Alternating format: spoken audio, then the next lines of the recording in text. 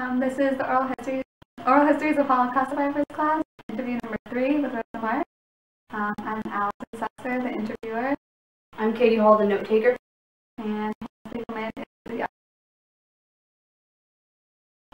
um, so during the last interview, you said that when you came to the U.S., you mentioned um, that you went to school, but you were put in the wrong grade. Is that right? I was put in the wrong grade because I couldn't speak any English, and my uncle and aunt um, had no children. They had no uh, experience with but taking a child to school, and so dependent on the superintendent in the building had a daughter, but she was younger than I, and she took me along, and it just put me in her place. So by the time I realized I was in the wrong grade, I knew enough English. It was time that I had to um, to leave school. I was in 16, and I had to start working because my uncle had not been well altogether, but he came became to the point they really the finances were limited, and I just needed fun. A lot of people in those days didn't necessarily finish school. They um, they went to work. So how did you learn English? Well, I learned English in class, and then they had a very nice woman teacher who um, was willing, like after class, once or twice a week, she kept, there were several other children who were in, and she sort of taught us something. Um, and you mentioned you worked in a knitting factory, right? Pardon me? You worked in a knitting factory? That was ma- manufacturing. A knitting knitting factory? After Knitting. You went to Oh, a knitting factory. I'm sorry. I didn't No, I'm sorry. Okay. Yes, I, I went um, to hire. They had an employment offer, and they found me a job in a knitting factory who were making gloves for the Army and Navy on, on machines, not hand knitting. And uh, there was a great need for that because America was starting like to realize that they needed to um, beef up their military and um, it was hard work because I wasn't used to being in a factory, and I wasn't used to, um, you know, all the things that go along with factory. And then how long after that you go to business? Um, I went to business school about two years later, but uh, while I was going to the knitting factory, there was also classes at night for immigrant high school, evening classes for, for new Americans, I guess they call it.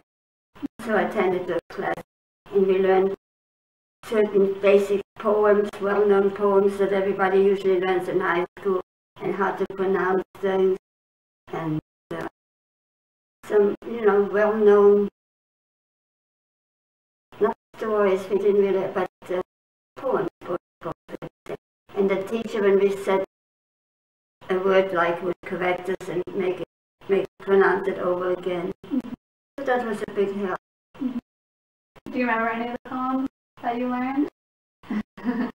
I think the beginning of one is roll on da da in deep blue ocean. I don't know how it goes. Do you know that one? No. and in other words, you had to you do the R's because Germans pronounce cannot pronounce the R. So roll on that da and you know made you pronounce. And then you said you were an administrative assistant, right? I was one. an administrative assistant, receptionist. Oh yes, uh, later on, uh, I had to move in with an American family because um, my uncle was only a one-bedroom apartment. I was left in the living room, and my uncle started to wander at night because he wasn't well. Pat, you know, I mean, give me a lovingly hug or thing, but I couldn't sleep, you know, and I knew that I needed rest at night, and it was too um, too crowded for someone who wasn't well to have, have me in the apartment. So I had a girlfriend who had a setup in an American family where she went to work during the day, but in the evening she babysat and help with the dishes and cleaning up. And, um, you know, did all kinds of little chores. And for that, she had room and boards. In other words, the room was free. And when she was with the children and with them, that she ate. And so she found another very nice family. And I lived with them. In the meantime, my uncle had passed away. And then as time went on, the last about year and a half before I got married, I had moved back to Manhattan. That was in. And um, also it became sort of difficult because um, it was a very long commute to Manhattan from Flatbush, New York. So I used to have to take the trolley, wait for the trolley maybe 15, 20 minutes, sometimes I don't know how long, and get on the subway in Flatbush. That was the last stop and go into Manhattan, and the office where I worked was on Madison 50. So in the meantime, I'd gotten this job at the office because someone next door, the Liebermans where, where lived to them in Brooklyn, knew that there was an opening in, in the office, a standard brand. I think I mentioned it to you last time. Did I tell you the story about the um, the man in charge of employment and, and that, I don't know what they call it. I don't recall it. Um, why don't you retell it? Just in Tell it again. Mm-hmm. so, when I heard about the opening, I went to apply for it because I hadn't been well at all. I was always worried. Didn't know, have any news about my parents. Didn't know if they had survived. And um, I know I just couldn't keep going in that factory job because both physically and mentally it was very much affected. So when I went for the interview, his name was Mr. Lemke. He, there were about 500 employees in that office. Was the main office of Standard Brands, which you could compare today to General. Huge, huge, with a lot of different uh, items that they had different companies divided up and the whole com the whole thing was called STEM. So when I went to interview, he spoke to me and heard my background and he wanted to know if I finished high And I didn't have a diploma from high school, but I started to go to business. He said to me, well, you don't have enough sufficient education to perform the job that you need. And we require high. So I had heard and I knew that actually the standard brands from out of the 500 employees, they maybe had one or two other.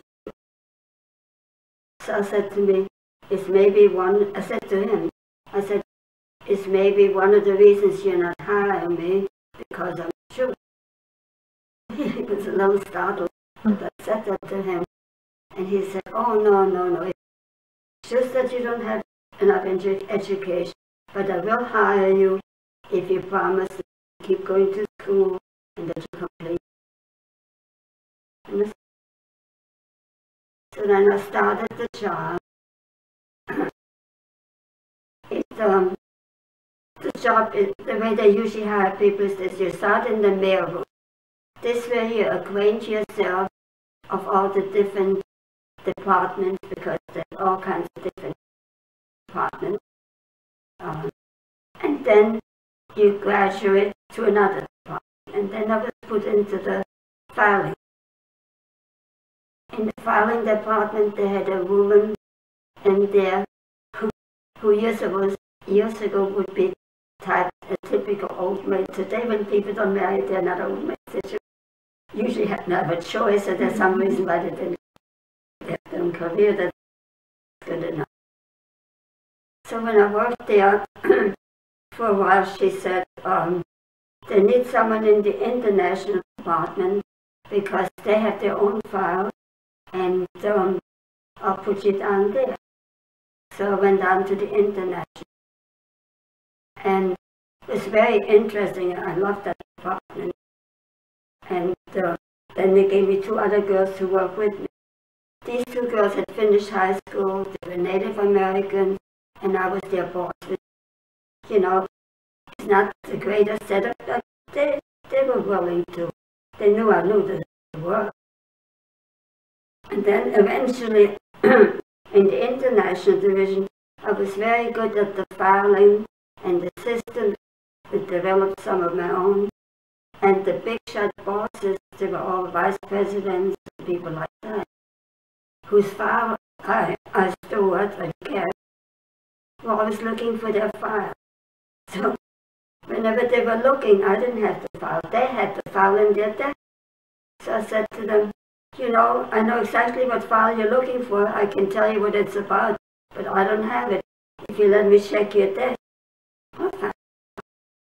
And that's the way it was mostly. They had. So after about the um, there was a sales promotion manager for the international division and an advertising. They said to me, instead of filing, we'd like you to come and, and work for us. You know, I have a. What do they call some another secretary? I mentioned it last time. Um, Administrative assistant? uh, uh, what? Administrative assistant? Administrative. Administrative assistant. Okay. I don't know trouble. Um, so, yeah. Admin. So I became the administrative assistant, but I had not come when I decided to take the job. I had not consulted the woman who was in charge of fire. She was very upset with me, and she said, "All this has to go to me because you work for me, and I have to give my okay that you get trained." And oh, she was beside. So I apologized. I said I didn't know that I was supposed to do, and that's procedure. So when they offered me the job, I sort of figured that's okay, you know, I didn't know anything. So I stayed on that job till I got married in 19. How long were you um, that job for? Well, let's see, I told my total time at Standard Brand was seven years, but five of those, I guess, were in, five and a half were in New York, and the rest I later had a job here at the brand. At this,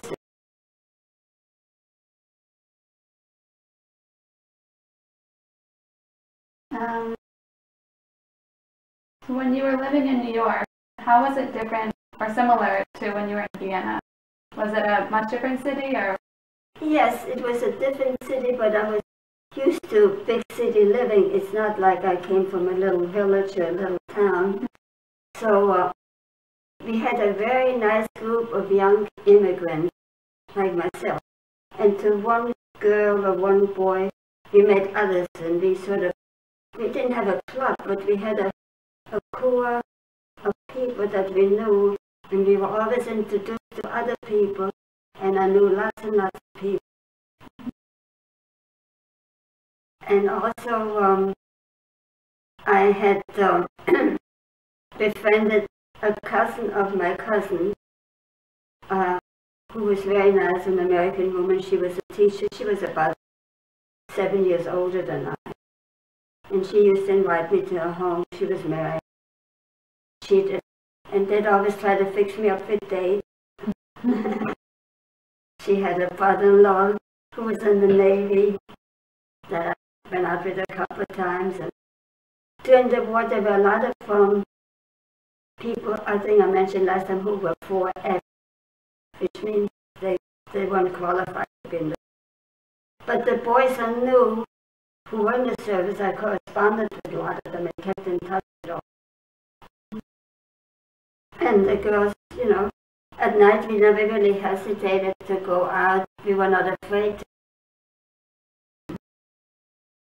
And while I lived at the Lieberman, there were two subways I could take, the IRT or the BMT. I don't know what they call it. But anyway, both of them went in the general area where we lived on 27th and and M in flight. And um, the Liebermans had gone out, and I, and I was many times I've been home at midnight on the subway from somebody else's house. So it was 12 or 1 o'clock, and I'd walk in the street by myself. And one night when I walked, I remember there were two footsteps behind us that were too close, you know. Usually people keep a certain distance, especially at night when it's so I had a feeling this, whoever it was, was up to no good. And sure enough, at, at one second, the guy grabbed me like this, you know, on my neck, but I had enough presence of mind to kick him with my feet, and he let go, and in the meantime, someone else had come along, and the guy just ran and disappeared. And I was really shook up. I was shape. Nobody was home at the Lieberman. And I called my cousin, you know, the one who's seven years older than I in Manhattan. They said, well, you want to come over here? But somehow I quieted down. It's just an experience. But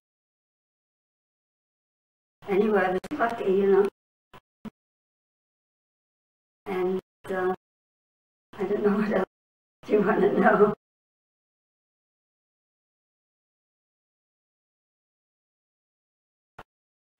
When did, uh, do you remember what year Benny arrived in the U.S.? Was that your husband? Oh, no, when, when she arrived in the U.S.? Oh, she arrived just like the last person before the war broke out. I mean, the last ship, you know? Mm -hmm. Do you remember what it was like when you first saw her again?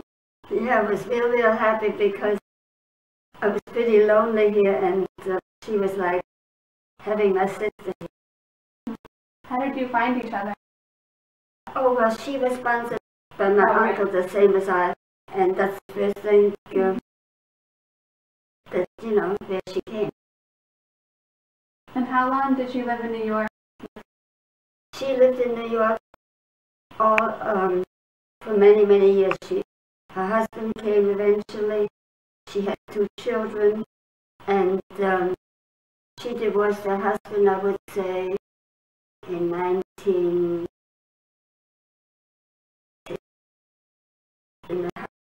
68, and she remarried and eventually moved to California.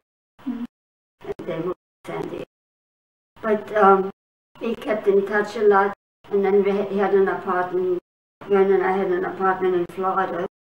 So they would go on cruises and then stop and see us for a week or two, stay with us.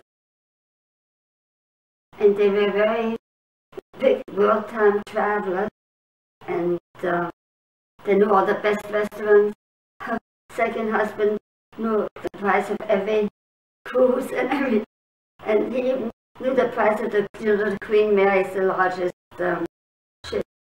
And someone once said to him, oh, wonder how much the Queen Mary, the trip is around the world. So he knew it. They didn't go on that trip. He was like you call a real European, I don't know, in German they say Lebemann, that means, I'm trying to find the English word for Lebemann.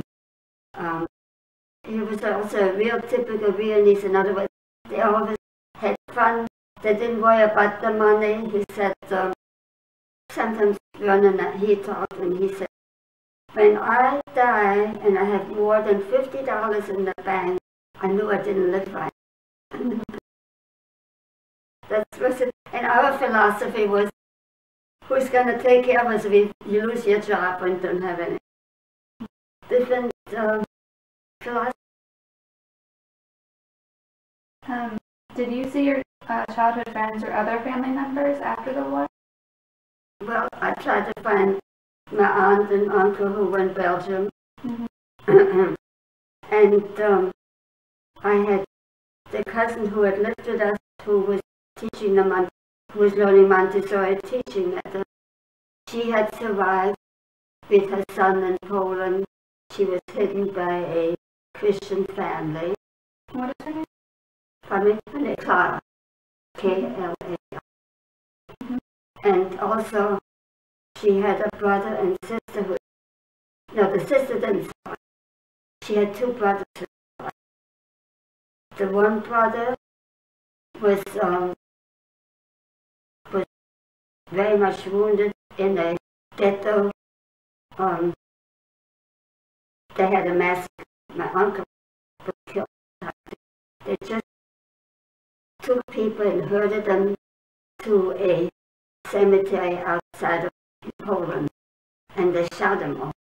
And my cousin, that's her brother, Abraham, uh, was shot in the arm, but he made believe he was dead. So he, they piled more bodies on top of him, thinking that he was dead. He survived, but he had a great handicap in one arm. He. So he survived, and then a younger brother, Charles, survived. He was hidden with.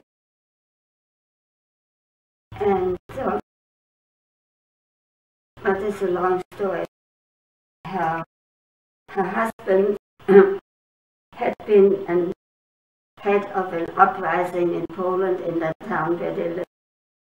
So they separated in, in the ghetto. He stayed in the ghetto, and she and her little boy were taken in by the Christian teacher and hidden in the attic. They lived in the attic two years. And at one time, I understand, her husband sent a message that he would like to go and hide with her in the forest, but they would have to leave the boy with the teacher hidden. And she sent back somehow a message that she wouldn't do it. I didn't know about it till her son talked about it. So the outcome was that her husband, being head of an uprising in the ghetto, someone gave him away and he her son and she survived in that hidden attic. And since my cousin was a teacher, she thought this little boy, I guess he maybe was at the time four years old or five, every day, being there, there were books up in the attic, and she would get out all the books and teach him everything every day, more than school. And this man today won the Nobel Prize in Chemistry as the youngest person to win the Nobel Prize. That was year he won. Another year, one, let's see. Well, he just turned 70 because he was born the, when I went to Poland the last time when I was He was one of the younger people. He wasn't in his 40s. So my cousin Clara was invited to Sweden when her son was presented the Nobel. And they survived, and she found out her husband was killed, and a lot of the people who survived then were sent to, um, to camps in Austria and in Germany. They were called, um, they were like refugee camps, you know, people who survived. And she was in one of the camps, and another cousin of mine had survived from another uncle's daughter. She was with them. And uh, the strangest part is I had a cousin who had immigrated from Austria to Israel, then Palestine. He was only 17 years old. He was one of the pioneers. Did I mention that? Mention it again. His name actually was Frederick, but in, in Israel they called him Brian. So this cousin was in the um, in the British Army. There was a, a Jewish division of the British They Army. called it Jewish Brigade. And he had gone to Austria and was helping refugees to settle back, to go to Palestine. But he didn't know that his cousins were in that camp, so they had no contact. His name had changed. They had a different name. And they only found out later that he could have helped them go to, you know. That was unfortunate. And my one other cousin who went, who also survived and was hidden, and her husband had been killed. She um, remarried a much older man, and she went to Australia. She moved to Sydney, Australia, because she didn't have anybody to sponsor her. So some of my cousins survived, but my mother was one of nine children. So there were a lot of cousins and people who. And so this cousin, Clara, she came after the war, and after she got papers from another cousin of hers on, on her mother's side. And this cousin on her mother's side was actually the teacher who was so nice that I got to know and befriended me and used to invite me to her house. So we were not related, but we each we had a mutual cousin. Uh, did you become more or less religious after the war? No. No. I know that some people, like my cousin Clara's mother, was not at all religious. She survived, but not my aunt. She had not been religious at all, but after she survived, her daughter was killed and her husband was killed. That was my uncle. She became very religious. As a matter of fact, she became crazy fanatic religion. That my cousin used to tell me, you know, you have to keep milk and dairy separate uh, and meat separate. So she'd go to the refrigerator, and if she wanted to get a meat sandwich, and she by accident looked at the milk container, she wouldn't eat because she thought it was sinful. I mean, you know, crazy fanatic. I mean, this was. No, I, I really did not become that religious. After I married Werner, maybe I would have been a little more observant about dairy, res- you know, or, you know, restrictions and eating kosher, but Werner placed no value on that. The aunt, actually, what I didn't tell you, so I moved back to Manhattan after I lived with the Lieberman Mhm. because my uncle's my aunt, Continue. my uncle's wife um, felt that I should come, maybe if I wanted to, I could come back and live. So I chose to do that because it was such a long commute from Brooklyn to Manhattan to work every day, and a half and more each way, that I moved in with her.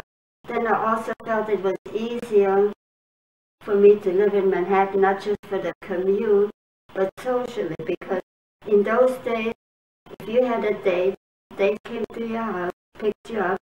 You went usually in Manhattan because that's where all the action is. Then he had to take you home and take you back again. And I felt that really wasn't a good setup.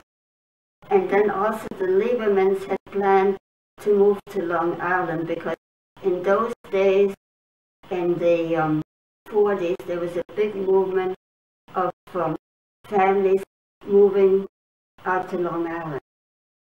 And they were ready to move. So they're very disappointed that I didn't move with them. They really felt almost hurt, but I felt for my future that was not safe. what year did you move to Manhattan? What year did I move to Manhattan? I would say probably in 1940. Did you stay in touch with the Liebermans after you moved out? I stayed in touch very little because they were really kind of, um, I don't know about angry, but they felt, they felt bad that I, that I didn't. The setup was good for them, you know, and I was, you know. And also, I really didn't want them to have, the two boys they had were really bratty kids, the, the, you know, boys. And I, I didn't, you know, it wasn't good for me to do that. Um, did you experience any discrimination or prejudice when you came to the U.S.? Anti-Semitism. Mm-hmm. Well, I knew that there was an anti, a lot of anti-Semitism at Standard Brands because um, the people were just indoctrinated that way by their religion. And uh, I don't know what else made them that way, but it was well known that if you really wanted a good position, all these companies like General Motors, uh, General Electric, uh, all the utilities, all the things, you could not be a head of any of these, like on the boards or on the um, committees or whatever, if you were.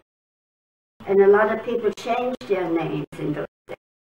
When you look at names today, you don't recognize that there's a Jewish background because they changed their, identity. So a lot of it was hidden, it was known.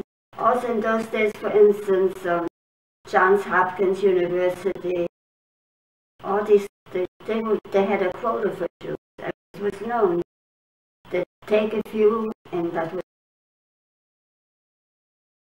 Did you uh, did you notice that changing after the war ended, or was it still? you know, Did you notice any changes after the war ended, or was it still? yeah, I think there were changes. I mean, I'm trying to figure out. I guess there was a whole movement because also with the African Americans, they had served in the army. For while they were all segregated, you know, the armed services. And maybe people got to know each other more and realized that all the stereotypes were not true. Um. So how and when did you meet your husband, Werner? Okay. well, my girl, I had several girlfriends who were married because I was always usually the youngest in the class. So I was always getting fixed up for blind dates. And my girlfriend Erica, who had gotten me the job with the other family, she was already married. She was old. She was three years. She is three years older than I. She said to me, "Oh, I heard of somebody really nice. You ought to go on this date." And she was always fixing me up. So I'm sick and tired of blind dates. I'm not going anymore. But I'll tell you what. Maybe I'll try it. But first, you have to find out what he does, what he looks like, and all kinds of details, you know. So she didn't really know Werner. She, he was a friend of a friend of her. So she she got his name and phone number and called him and told him that before I'm going out, I need to know things. And I think he was very upset when someone wanted all these details. But he figured since I had enough nerve to do all that, he was going to meet me just for curiosity. And we had a blind date, and we arranged the date so we're not going out by ourselves. To this girlfriend of ours and our husband, and uh, he fixed up a girlfriend of mine with a date, and so there were there were six of us, right? And the first day was on the tavern on the green. It's a nice place in Central Park. You ever hear of the tavern on the green? I'm sure you have. I think it was closed recently. Huh? Recently it was closed. Yeah, I think that's all the. So we met first in front of um, one of the movie theaters on 42nd Street. I forgot which one, one of the hotels. And we all went to the Tavern on the Green. And there was a huge crowd on the Tavern on the Green. A lot of people Saturday night, outdoors. And we sat down, and the waiter took like forever. so when the waiter finally came, Werner ordered his drink. So what did he do? He ordered two drinks. One. I said, oh boy, now I made a shaker, but you don't know what a shaker is. do You You know what a shaker is? You know the word? Shaker is the Yiddish word for drunk. I said, now I'm at a drunk, you know, that's another category. Hold on just a second. Um, and how did your children learn about your? We really didn't talk. To, I, I don't think I talked to my children that much. But when I made the tape for Spielberg, see, they each got a copy, and they were able to, um, excuse me, And also, Stephen Salisbury said that at the end of both my tape and Werner's tape, the children could come in here and the family would be shown as a group. My younger daughter couldn't make that tape. So the only ones who are on the tape is my older. And they each have a tape. So if they listen to the tape, I never really went into detail.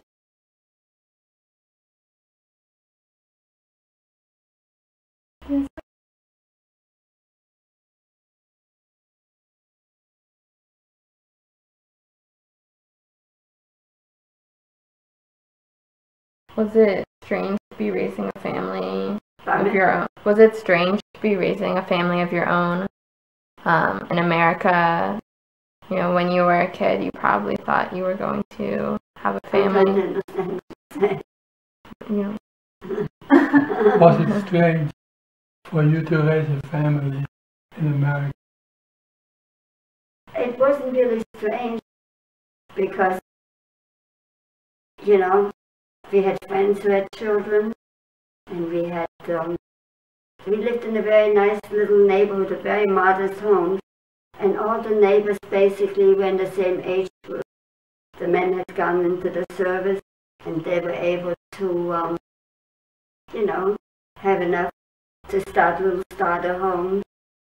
So the whole neighborhood was like very close. And um, the only thing I noticed is in those days, parents used to buy a book called Dr. Spock. You ever hear of him? He's the one, he's like the Bible how to children.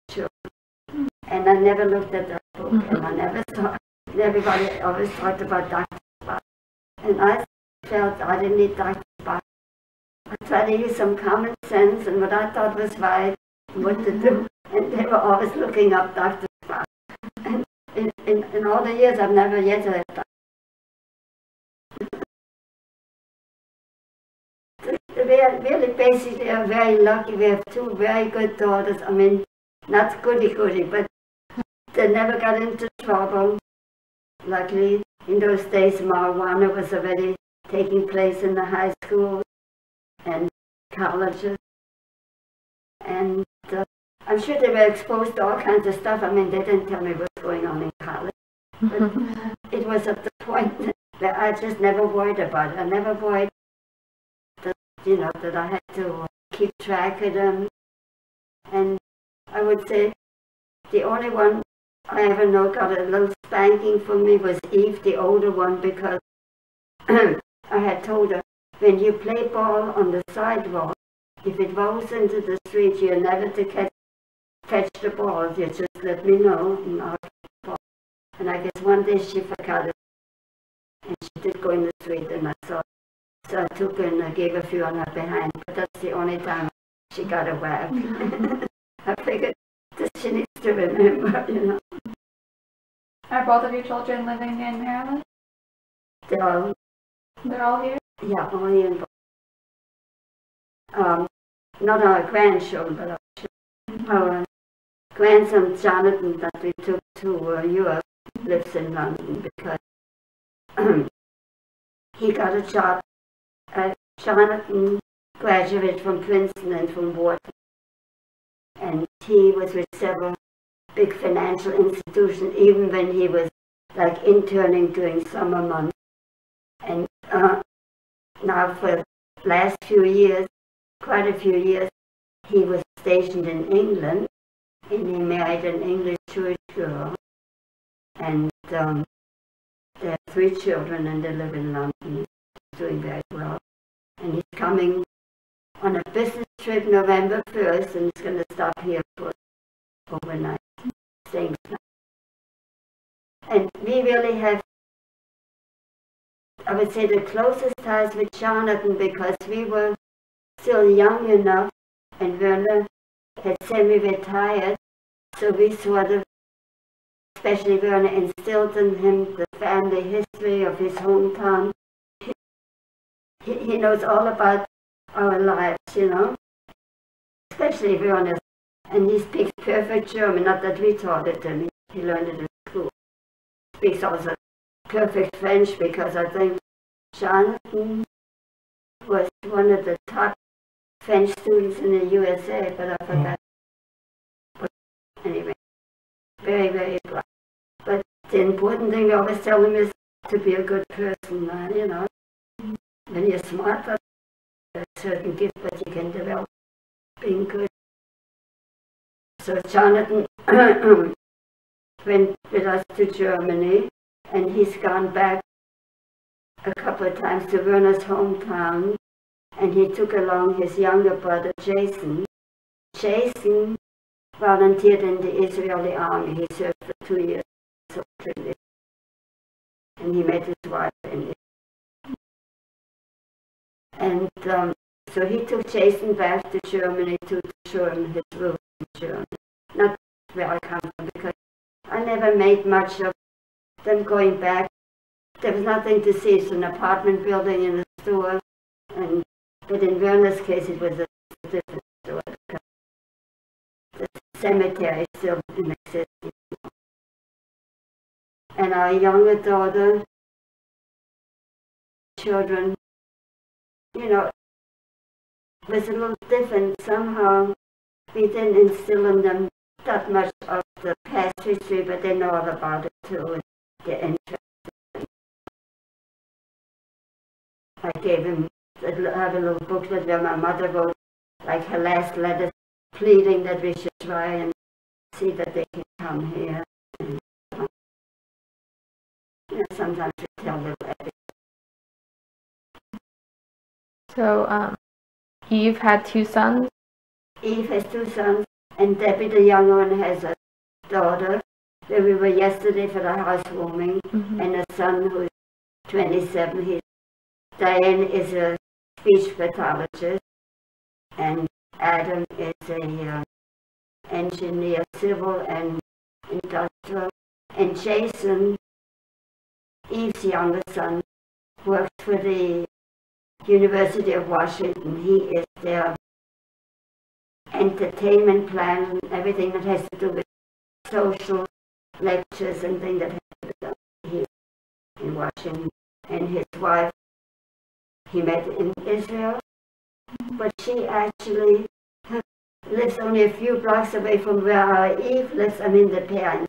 But she happened to be born in Israel because um, her parents at that time were living in Israel. So she's actually an American born in Israel. And they have a very, very deep love for Israel. And they have three little children, also just like Jonathan.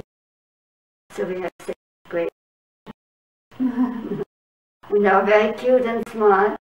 they really are, and luckily they're, they're well. You know, it's lucky when you have children who are healthy. And they're very sweet towards us, all of them, because they're trained to be nice. Even though they're children and our children, but when it comes to us, they're very gentle and nice. Um, When did you stop working at Standard Brands? You said you worked for them in Baltimore. Oh, yes. When did you yes. stop? Um, when we moved to Baltimore, for a while I was getting like a little bit settled, but then I got restless and I said, I'm going to look for a job. So I had this very good letter of recommendation from my boss. So there, I heard there was an opening at Lane Bryant's. You know, Lane Bryant's is a place for, for people large size. And the manager interviewed me here and he hired me as a secretary. Anyway, his secretary was like a little lower than what I was looking for. I, so I worked for him, and after a while, he was always giving me dictation. I hate, I hate, I hate stenography because I myself in New York used to dictate.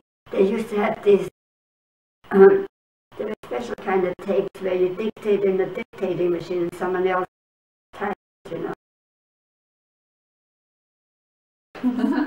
okay, stay away. so, so he hired me, and you know, I was newly married, and I was trying to have a nice dinner, And at five o'clock, he started giving me work in dictation, and I was ready to go home. So I worked him not quite a year. And I could never find anything to buy in Lane Bryant's because they were large size, and that was not my size. And really, the styles were terrible. So then, after a while, I also noticed that he had like sweat smelled alcohol. And my somehow got it to to the grapevines that he was really an alcoholic. So he said, so I said to myself, I'm going to quit that job. Can't stand. So one day I decided I had enough. I mean, I did my work, but so I said, Mr. Walker, I'd like to give you notice. I'd like to leave. I'm giving you two weeks. No. He says, two weeks notice. He says, you're fired.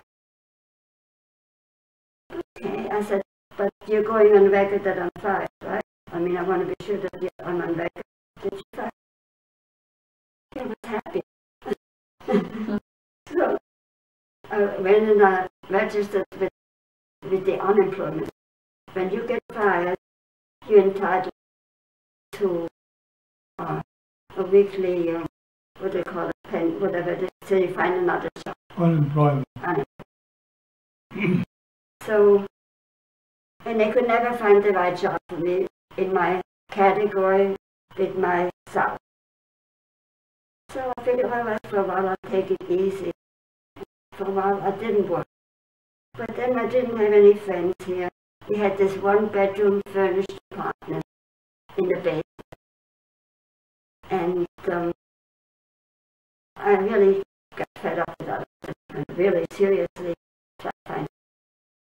I knew there was a um, district of Standard Brands. You know, they had offices all over the United States, in South America, all over. Uh, I, um, forgot to say that this Standard Brands, their products were sold all over South America, Central America, and even in Japan they had agreements. Why don't you mention some of the products that they made? Well, today, remember? Do you- yeah, all right. There's Fleischmann's yeast, there's V8, there's um, black and white label whiskey, there's um, royal pudding. I don't think they make it anymore before that. There were, I must say, a dozen products. I can't think of them. They were all different companies, but the umbrella was then. So uh, I said to myself, they have a district office here in Baltimore. I'm gonna go up there one and see if they have it. I went up there with my letter of recommendation, and uh, Mr. Meyer, Mayor, Christian Mayor, I come up there and he said, we have no opening, but the letter is just so wonderful. He said, I'm gonna call New York. He calls so he says, I have no opening. So he calls Mr. Lemke, the head of employment in New York, and he tells him that I'm applying. And Mr. Lemke says, you have no opening, don't let her go, hire her. So I was hired, and I really had very little to do because they really didn't need me, you know. You know, I kept busy, but it was not know. So I walked there, and everybody was nice, and they had never had a Jew in the office before. They had no idea. So finally, they had an idea what it was like to work with. What year was that? That was in 1940 How long were you there? till I was till I was thinking about being pregnant with Ethan. There was a girl there. Her name was Margie. Her husband was going to law school, and she was supporting him. So then Mr. Meyer told me one day, it's between you and Margie. We have to let one of you. I said, Werner, we're going to start a family, hopefully, and let Margie have a child. And Eve was born in 19 And um, I maintained a friendship with the one girl who was the head secretary. And also remember one thing, Mr. Killian, who was the district manager, Mr. Mayor was the office manager. He used to go, I used to open his mail. So one day I see a letter they confirmed his reservation for a golf vacation in, um, what was the name of that hotel down in Virginia? Where they didn't take Jews in the hotel. Greenbrier. Greenbrier Hotel was segregated. No Jews allowed to Have you ever heard of Greenbrier? Oh, it's a well-known If you're in the neighborhood, stop by. How do you spell it? Greenbrier in, in, in West Virginia.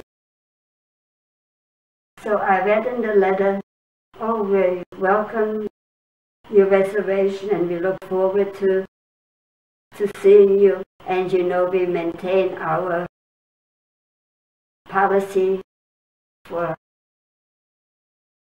for a select client. In other words, it meant we still don't let Jews. Were you surprised by that? Pardon me? Were you surprised? No, I was. I just. I never said anything to Mr. Killian. He was very nice to me. He was a lovely man. Well, you want to just say, pick it up and whoever it is? Is there anything else you want to add? I'm trying to think. Either from this interview or in the past. I mean, this is our last interview, so anything you'd like to share that we didn't get to? Yeah. Good question. Well, I didn't speak about um, my life. Uh, let's see. Uh, yeah, I spoke about working for.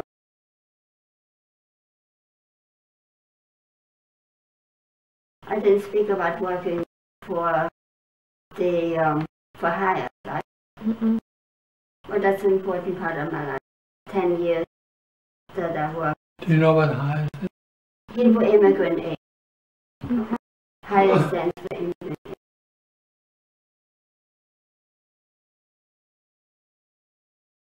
Mhm. So after my children were old enough, I really basically got very bored staying home. And when the younger one started going to kindergarten, I decided to look for something to So first started, a friend of mine was working for HIAS. She was the um, assistant to the director of Dr. Koch. And um, I said, you know, I'm really bored staying home. I'd like to do something. Maybe I can volunteer. She said, yeah, come on over. And I spoke to Dr. Kaufman. And I used to go in there a few hours, always making sure that I was home when the children came home. And uh, shortly after I worked as a volunteer for HIAS, a friend of mine who had a custom jewelry place said, come and work for me, you know, I'm paid. And, um, and you can work the hours you want to because I know you have to be home for you. So I left HIAS and I told him, so Dr. Kaufman really didn't know I told him. So then Dr. Kaufman called me up and he said, I didn't know you're looking for a paying job. Why didn't you say?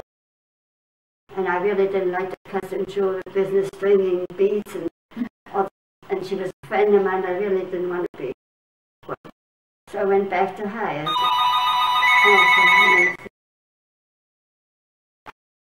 uh, are are we on again?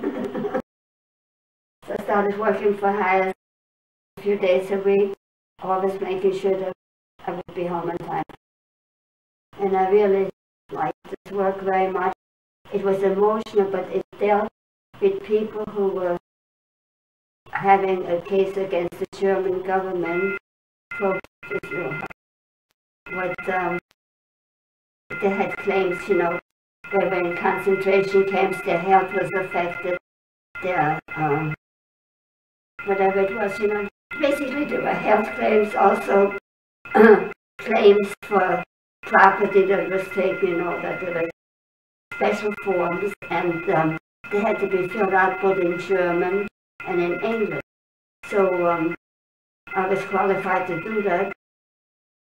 I should stop in and I um, and I got to see people, interview them, and get the documentation. They had um, a lot of them had to obtain doctor certificates, sometimes from psychiatrists and from other health professionals to document the claim. And um, there was a certain kind of, it's hard to say, you know, all kinds of procedures that you had to take and then fill out the forms and file them against the German government. And uh, it was hard for me to get downtown because I had to take a, a long streetcar ride and get to the get to the bus. Uh, there's a streetcar and then sometimes a bus. So Dr. Kaufman said to me, why didn't you say so it's hard for you to um, get downtown? I'll come and pick you up every day when you come. So it was very nice. They picked me up whenever I went to work for her. And I worked there. Actually, Dr. Kaufman passed away about, um, after work there maybe five years. And then uh, his, um, his assistant took over, who was happened to be a friend of mine. And um, so I worked there for 10 years. And in the, many times I took the cases home with me because people used to tell me all their life story, what happened to them in extermination camps, in um, concentration camps. They told me about their experiences they had tried on him, you know, they, they used him as guinea pig. And uh, in many cases, you know, I was able to obtain some small compensation. They got like a monthly pension. And many times later, I would meet people and they would thank me a hundred times. This woman is, is one of the people who went to the camp. She always comes up here to help her with some forms. And um, I'm trying to think. So then after a while, the cases sort of slowed down and petered out. And I left tired. And I opened up a little clothing boutique with a friend because I needed to do something. And she was a very good friend of mine, but the arrangement didn't work out too good. I stayed five years with it because Werner and her husband were very good friends, and Werner kept telling me, you got to stay on. You got. To, I said, I want to quit. I want to quit. I don't want to. Mm-hmm. I did stay on. What year did you start doing that? What year did I work at HIAS? I worked at HIAS from 1961 to 1970. And then you did the clothing boutique from 1971 until Yeah. 76 for five years. That's. Um, then our older daughter Eve, uh, I stayed home for a while, and they had bought a house. They had gotten married in 96. And they, they bought a beautiful, beautiful house, but they didn't really like the neighborhood. It was closer. And Jonathan had been a baby. And they were looking to sell that house. And it was beautiful. It was a beautiful house, and uh, they put it up on the market, and they sold it within four weeks. Now they had this four-bedroom house. They sold, and they had no place to. So they asked if they could move in with us. So they moved into our house with their four-bedroom furniture, the mm-hmm. whole basement you couldn't even walk through, and they stayed with us for a year. So we really got to know John he was a baby, you know. And then I got so bored. You know, Eve was in the kitchen, I was in the kitchen, small baby. I had to do something. So Eve said, why don't you try going for real estate? course?" I said, I'm too old, I'm not going to have But I did, I signed up for real estate. Took the classes, and I said, when the test time came and I had to take, I said, I'm sure I failed. I I'm not going to take it over again. Test came back, I had an A. so then I was in real estate, but basically only part. And I stayed with real estate quite a while, but I had a big conflict because a lot of real estate people tried to um, make the sale. I didn't financially need to make the sale. It interfered with my contract. And um, but I stayed with it because it kept me busy. And when I had already and slowly retired, when there was an open house on Sunday, he'd go with me and stay with me. And um, I got to know quite a few people. So basically that was okay because I didn't know what else I would want to do. And uh, my broker always said, I don't know, he, he, he said, I used to complain about other salespeople because some were very unethical and they tried to pull all kinds of stuff. So I have to report them every week what was going on. So he says, if someone throws you a porcupine, I remember he said, throw it back at them. but that's easy to say, you know. But I enjoyed some part of it because the people that I sold a house to or listed always knew that I really tried to do it in an honest. And I got to know several Russian families, Russian immigrants. And we're friends today. One fellow even came up just a few weeks ago when they talked to Werner. They invited us to their weddings and their bar mitzvahs and bar mitzvahs. And uh, that part nice. But when we went, we were also going to Florida. We had bought a condo in Florida.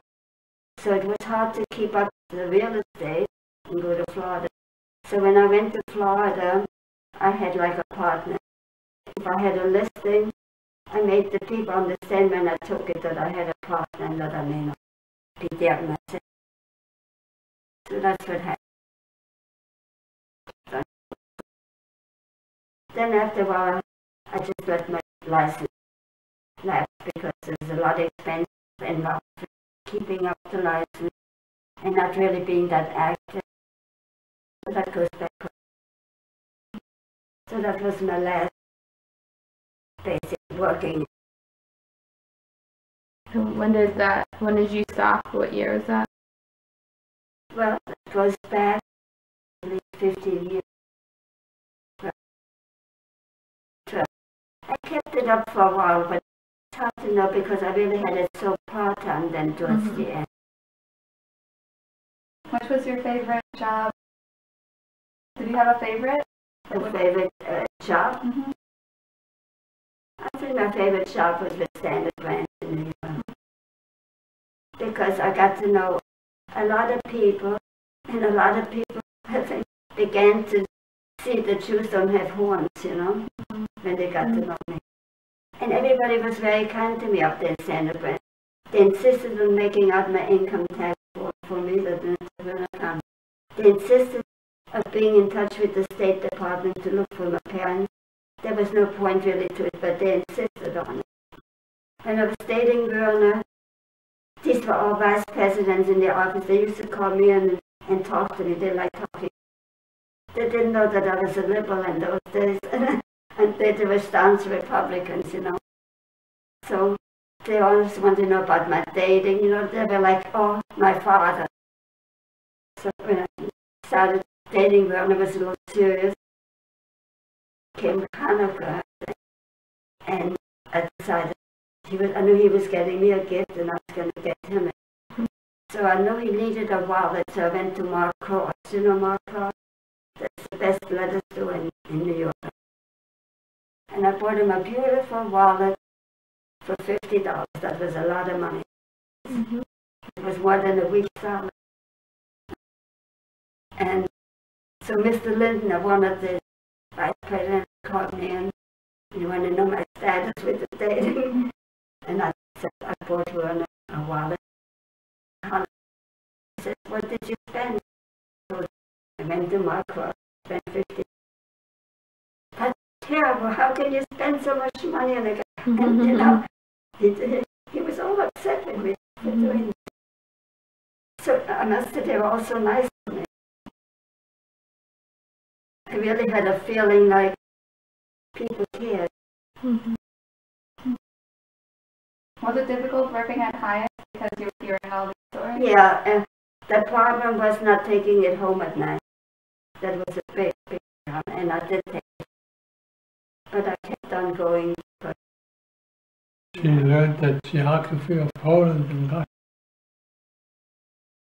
and all the terrible camps. I don't, I don't know more. What was it? Um, and then also a lot of times, sometimes did conflicting stories. And they talked. They'd really been somewhere else. They're not meant, but I knew the story didn't match. So I tried to explain to them I could speak Yiddish and I could communicate. And they felt safe with me telling if you submit these papers, doesn't make sense. And a real witness at one time also made it. And they check your story against their story, you're in trouble. So they started, you know, opening up. some of these people didn't know. Um, no, your life is at stake. Do you care what what the name of this camp is? It's immaterial. Mm. So that was, I mean, that was satisfying work, but my happiest